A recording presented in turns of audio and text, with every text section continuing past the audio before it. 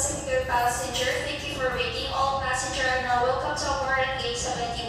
Please proceed to gate 71 with your boarding pass and passport already. Thank you. Thank you for choosing Pacific Air today. Tayo